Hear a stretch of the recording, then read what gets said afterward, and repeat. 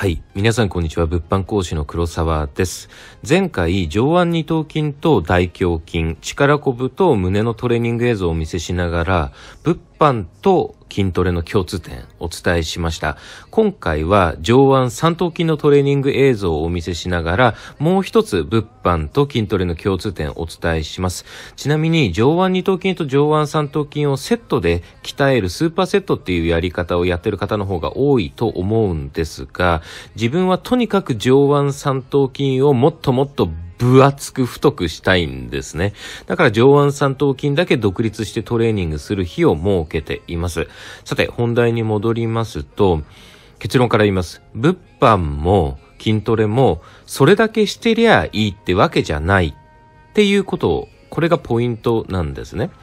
筋トレの方で例えるとよくわかると思うんですが、いくら筋トレしたって筋肉を作る材料がなきゃいけない。で、材料は何かっていうと、タンパク質。特に必須アミノ酸、9種類の必須アミノ酸なわけですよね。で、それを、例えばお肉とか、あとは卵とか、お魚とか、そういったものを食べて体に補給して材料を体に備蓄してあげるというか、材料を摂取してあげることが大切になってくるし、普段の生活でストレスがすごい溜まっていると、ストレスホルモンという、まあ、コルチゾールっていうものが増えてきて筋肉がつきづらくなってしまうし、っていうことがあるわけなんですね。物販も同様に、商品リサーチを何十時間もやればいいんでしょうと。10時間やるより20時間やった方がいいんでしょって思う方も中にはいるかもしれないし、やっぱり日本人特有のストイックで我慢しながら忍耐強く続けてりゃどうにかなる根性みたいなのが、悪い意味で働いてしまって、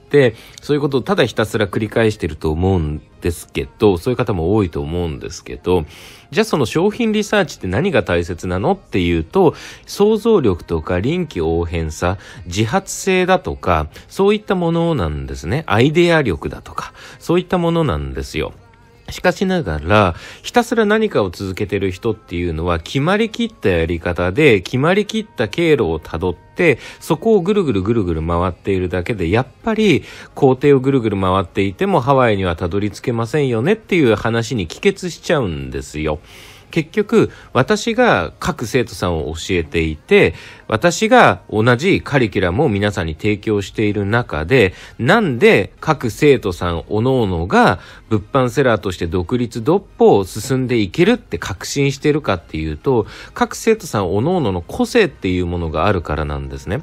じゃあその個性っていうのは自分らしさですから、誰かから与えられたものではなくて自発的に動いていけばいくほどその人の個性っていうのがキラキラキラキラ輝いてくるんです。だから人に言われた通りのことしかしない、いつも同じことしかしない、それを続けているっていう状況は決して良いものではないっていうのがわかると思います。さらに物販でも、じゃあそのアイデア力を生むためにはどうすればいいかっていうと脳神経細胞を活性化させればいいんですけど、脳神経細胞を活性化させるためには、やはり運動、適切な運動だとか、適切な食事、睡眠っていうものが大切になってきます。っていうことを考えると、物販で実績を出す、何かでガンと飛躍する躍進したいって思ったら、結局は食生活だとか、普段の仕事に対する考え方だとか、運動をするだとか、そういったところに帰結すると思いますし、プライベートでいろんな悩みがあるのであれば、それを解決するするだとか、考え方を変えるだとか、そういったスタンスを変えていく必要が出てくる。